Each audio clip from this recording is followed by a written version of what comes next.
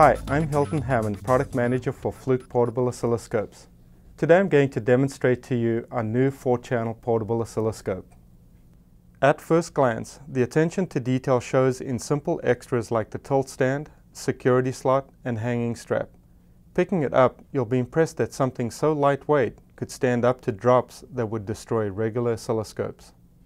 It's dust and drip proof rated to IP51 and has a 600 volt Cat4 and 1000 volt Cat3 safety rating, making this the instrument for harsh and dangerous jobs.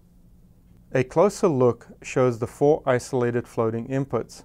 With this design you don't need external differential probes, which prevents potentially dangerous user errors.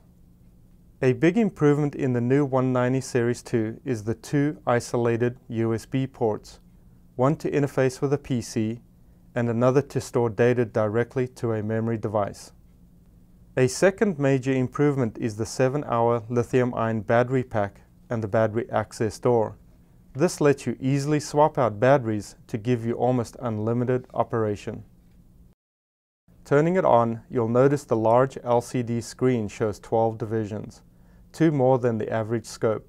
It's as easy as pushing a button to transition between scope mode, meter mode, recorder mode, or replay. Connect and View mode will automatically and continuously set up and trigger on a signal for a stable waveform display. This will allow you to view the characteristics of even complex signals without touching the tool, so you can focus on troubleshooting.